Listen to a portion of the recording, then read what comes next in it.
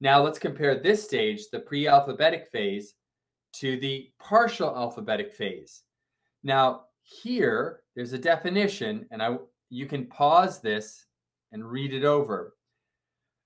But here, the student is just beginning uh, to decode words. They, they have they have the the beginning of the alphabetical principle. They haven't mastered it, but with a picture and a word, let's say we have the there's the picture of a tree here, and I have the word tree written down. Uh, with that picture and looking at this word that starts with a T, if they have the basis, the basics of the alphabetical principle, they'll be able to be like t, T goes with tree, tr, tree, and spot it and recognize it. So at this point, they're recognizing just by the initial letter and the visual cue the whole word. They're not really reading the word tree. They're not really decoding it.